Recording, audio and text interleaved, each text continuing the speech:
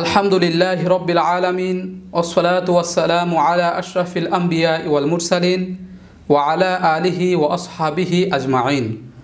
সম্মানিত দর্শক ও শ্রোতা মণ্ডলী, সকলকে জানাই ইসলামিক কোশ্চেন বাংলা চ্যানেলের পক্ষ থেকে আন্তরিক মুবারকবাদ।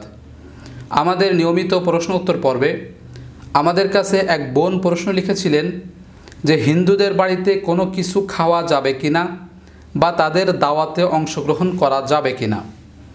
এই প্রশ্নের উত্তর খুবই সংক্ষিপ্তভাবে আপনাদের সামনে তুলে ধরার চেষ্টা করব। আমা তৌফিকি ইল্লা বিল্লাহ। প্রথমেই বলছি, হিন্দুদের বাড়িতে হালাল খাবারের মধ্যে যে কোনো খাবার খাওয়া যাবে, তবে দুইটা জিনিস বাদ দিতে হবে। আমি আবারও বলছি, খেয়াল করে শুনবেন, হিন্দুদের বাড়িতে অথবা তাদের হাতে তৈরি করা হালাল খাবারের মধ্যে যে কোনো খাবার খাওয়া যাবে, তবে দুইটা জিনিস বাদ দিতে হবে। এক নম্বরে বাদ দিতে হবে। হিন্দুদের হাতে জবাইকৃত যে কোনো পশু পাখির গোস্ত এটা মুসলমানের জন্য খাওয়া হারাম। এটা বাদ দিতে হবে। দুই নম্বরে বাদ দিতে হবে, হিন্দুদের দেবদেবীর নামে উৎসর্গকৃত পূজা মণ্ডপের প্রাসাদ। এর ভিতরে যে কোনো খাবার থাকতে পারে। এই প্রাসাদ মুসলমানের জন্য খাওয়া হারাম। আল্লাহ সুবান তালা কুরআনুল করিমের সুরা বাকারার একশো তেহাত্তর নম্বর আয়াতে বলে দিয়েছেন, ইন্নামা হরমা আলাইকুমুল মাইতাতা ওয়াদ্দামা ওয়ালাহমাল খিংজির ওয়ামা উহিল্লা বিহি লেগইরিল্লা যেগুলো আল্লাহর নাম ব্যতীত অন্যের নামে, গায়রুল্লাহর নামে উৎসর্গ করা হয়েছে, গায়রুল্লাহর নামে জবাহ করা হয়েছে, ওই সমস্ত বস্তু খাওয়া মুসলমানের জন্য সম্পূর্ণ হারাম। আল্লাহ তালা এটা স্পষ্ট করে দিয়েছেন। তাই হিন্দুদের বাড়িতে যে কোনো কিছু খাওয়া যাবে হালাল খাবারের মধ্যে। তবে তাদের হাতে জবাইকৃত কোনো পশু পাখির গোস্ত খাওয়া যাবে না এবং তাদের পূজা মণ্ডপে তাদের ভগবানের নামে, দেবদেবীর নামে উৎসর্গকৃত প্রাসাদ, তার ভিতরে যে কোনো খাবার থাকতে পারে, এগুলো মুসলমানের জন্য খাওয়া সম্পূর্ণ হারাম।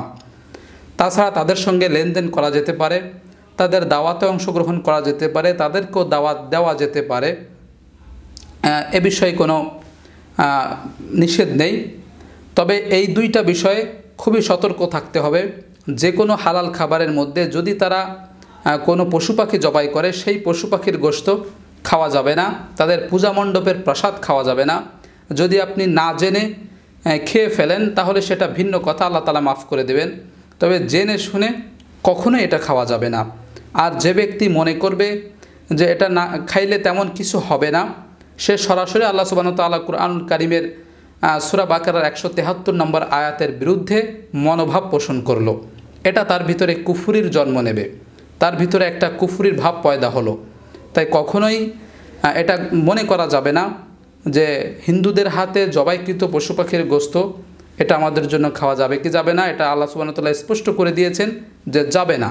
তাদের পূজা মণ্ডপের প্রসাদ খাওয়া যাবে না, তাদের হাতে জবাইকৃত পশু পাখির গোস্ত খাওয়া যাবে না। তাছাড়া যে কোনো হালাল খাবার খাওয়া যেতে পারে।